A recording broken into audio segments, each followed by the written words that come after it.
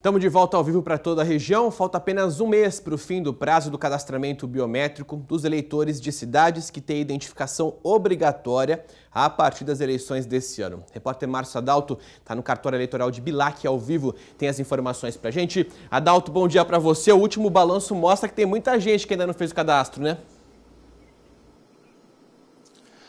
Bom dia, Casa Grande. Bom dia a todos. 30% dos eleitores em todo o Noroeste Paulista, mais de 3 mil só aqui no cartório de Bilac, né, na região que Bilac é responsável, sobre esse cadastramento biométrico, a importância dele também. Eu vou conversar agora com a Natália Sakamoto, que é chefe de cartório aqui de Bilac. Natália, muita gente aqui na região está esquecendo de fazer esse cadastramento. Bom dia. Bom dia. Nós temos 3 mil eleitores para serem cadastrados até o dia 27 de março desse ano. E para fazer o cadastramento é tranquilo, basta fazer o agendamento e vir procurar vocês. Aqui no cartório de Bilac, o eleitor pode vir, não precisa agendamento, traz o RG, CPF, o comprovante de residência e o título. Serão revisados os dados, vai colher a assinatura, as digitais e tirar uma foto. E aí fica regular com a Justiça Eleitoral. Qual é a importância de se fazer esse cadastramento, esse procedimento?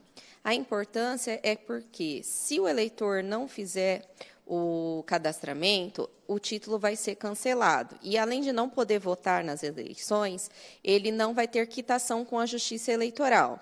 E, sem a quitação, ele não pode tirar passaporte, não pode se inscrever em concurso público, pode ter problemas no recebimento de proventos, ter empréstimos em bancos públicos. Então, é uma série de consequências além da esfera da Justiça Eleitoral. Além disso, o, a Justiça a Justiça Eleitoral diz que ele também traz mais transparência para o processo eleitoral, é isso? É uma segurança na identificação do eleitor, porque além da documentação dele, vai ter a certeza que o eleitor estará votando, porque ele vai ser identificado pela digital dele. Tá certo, Natália, muito obrigado pelas suas informações. Só reforçando, Casa Grande, falta um mês, exatamente, dia 27 de março, termina o prazo. Quem não fizer, perde o título e sofre essas consequências que a Natália acabou de dizer. É bom estar atento e correr aí atrás do agendamento e procurar o cartório eleitoral da sua cidade. Com você. Tá certo, Adalto. Obrigado. Vamos reforçar também, pessoal, o seguinte, tem muita gente que não mora, que não vota em cidade com cadastramento obrigatório,